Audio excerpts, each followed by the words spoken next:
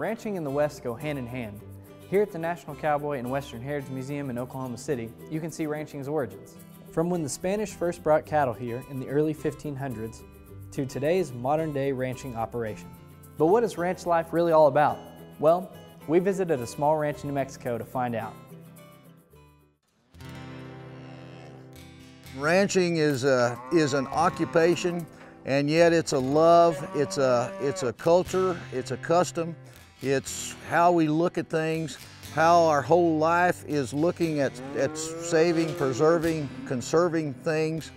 And so it's, it's something to be handed on as far as a custom and a culture uh, from generation to generation. My name is Richard Spencer.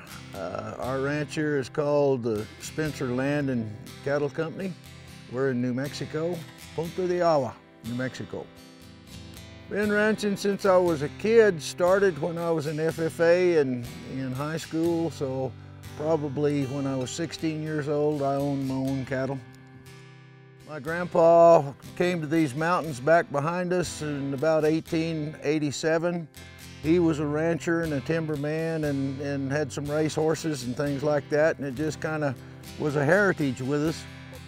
It seems like the modern world is all plastic and made up and, and smoke and mirrors, and this old ranching heritage and, and the custom and culture that goes along with it is real, and it's down to the basics of life, of uh, animals and plants and the environment, rain and those kind of things. That's all reality, God's creation.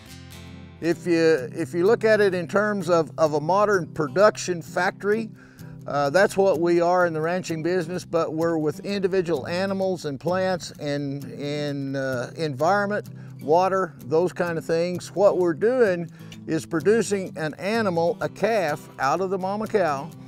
It grows up, we, we brand that calf, identify it, and save it up to a certain size and weight, and then we strip them off wean them and sell them to, the, to go into the market on to be raised to bigger animals as yearlings and then on into the feedlot and then eventually to someone's plate.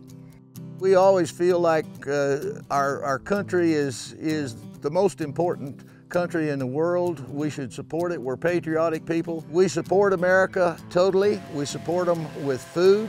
And our war efforts in the past have been based on uh, a well-fed army. So we are a part of, of that whole process of feeding America and feeding the world.